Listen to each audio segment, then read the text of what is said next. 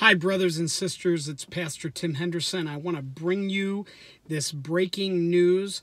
Two Saudi oil facilities are on fire from attack from drones that were sent by Iranian aligned Houthis, Houthi group from Yemen.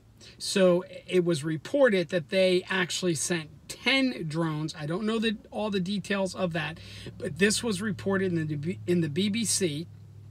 And so, two Saudi oil locations, oil facilities, have been, they're on fire, and these are from drone attacks. The Middle East, the tension is increasing. Nations are aligning. We are in the final moments of the end of days. Well, I want to give you a blessing today. May the Lord bless you and keep you. May his face shine upon you and be gracious to you. May his countenance be lifted on you, and his shalom, his peace, perfect, whole, complete, nothing lacking, nothing missing be yours in the name of Yeshua HaMashiach. God bless you guys. Remember, He loves you fiercely and passionately.